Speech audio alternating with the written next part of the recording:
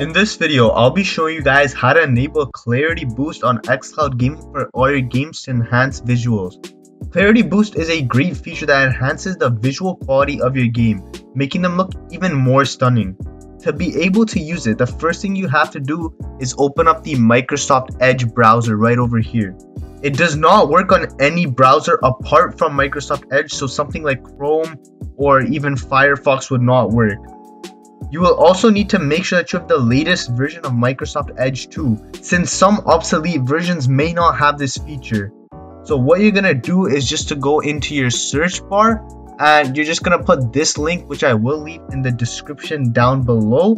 And what you're gonna do is first sign in which I've already signed in over here and you're just gonna click on the game that you are trying to run. Click play here and just click continue anyways And what you're gonna do is just wait for this queue to be done. So I'll be back when this queue is done.